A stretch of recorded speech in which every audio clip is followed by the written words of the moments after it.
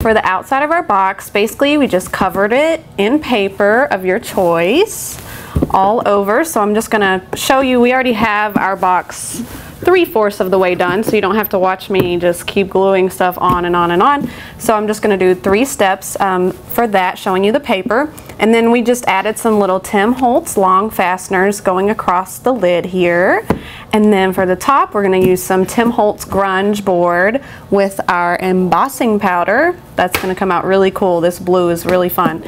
And then just um, show you how we strung this ribbon through the box. It's another really cool step. So first I'm going to start out by just putting our paper on and we did the stripes on the outside and if you see these little dots here that's just because I went ahead and measured exactly where we need to punch our holes for the ribbon because it makes it much easier if you already have that process done. And to get our paper on, I'm going to use our handy Glue Glider Pro here. These are on our website as well. And these are awesome because they are so easy and so fast. Just do strips all around, maybe one down the center if you want. And put on the front of our box. And as you can see, we inked the edges of our box because the paper, we didn't want it to line all the way up through. we didn't want it to line up perfectly.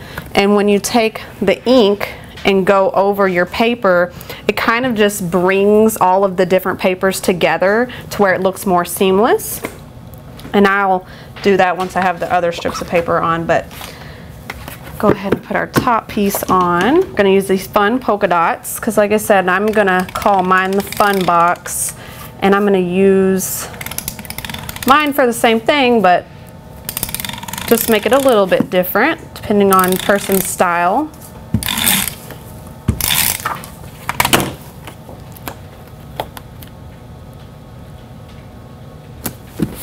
We have our paper on top.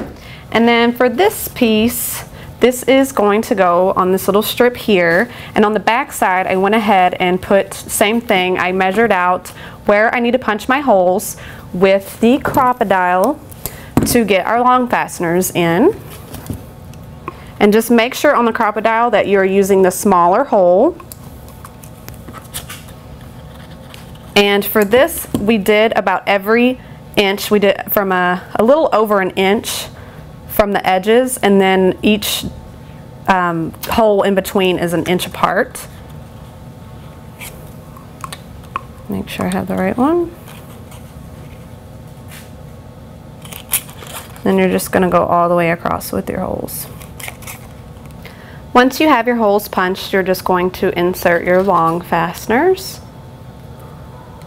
I believe these that we sell on our website come in a pack of 25. So you get quite a few. And for this, I think we end up using seven. So you're just going to continue the process putting them all the way across the paper put our long fasteners in. And I believe these come in packs of 25. We have these on our website as well. This is one of the easiest glue guns I've ever used. Make sure we're getting it on good here. Once our papers are glued down, that's when I will take our little fluid, um, this is the fluid chalk ink. We have these on our website also. They come in uh, about six packs of uh, six different colors per pack. And just kind of go over the box and the paper as well. And then just continue I'm going to show you the process of getting our ribbon through. I already have my holes in and for this it was about um, three-fourths of an inch and then a quarter inch because you have to have uh, small, they have to come closer together for when you're weaving in and out and then the bigger spaces for where you see the actual ribbon going across. So to get that, we have to use a Crop-A-Dile Big Bite and want to make sure that it's on the bigger punch this time so that you have a bigger hole to get your ribbon through. Makes it much easier. Then just start punching your holes.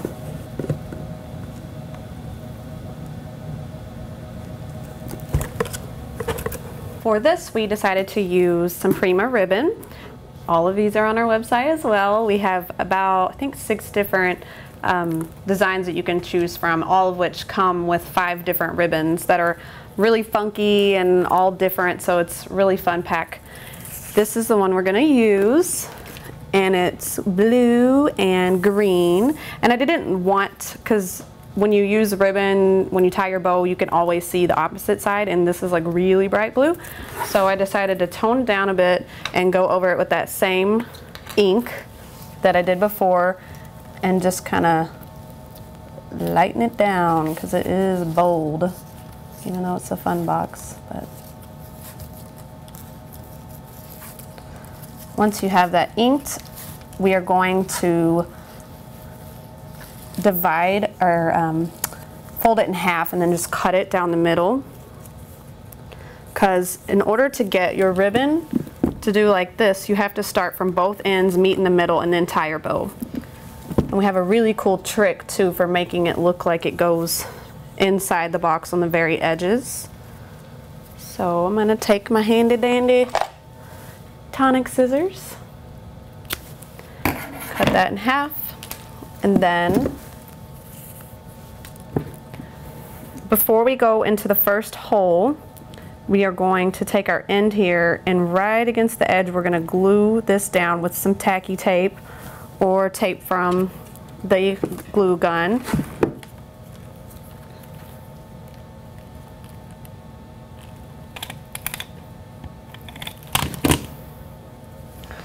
And then, let's see, make sure our glue is hidden here.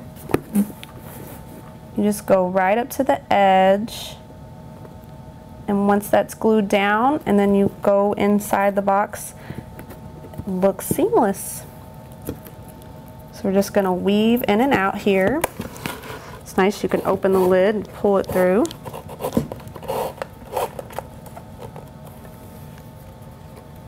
And then come right back through on the closest hole. And then just continue all the way across. And so we're just going to tie a simple little bow.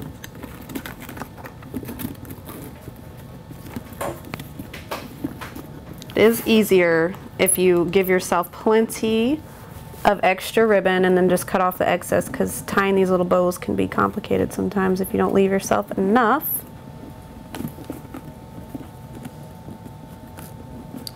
And once you have the bow you like, just cut off the rest.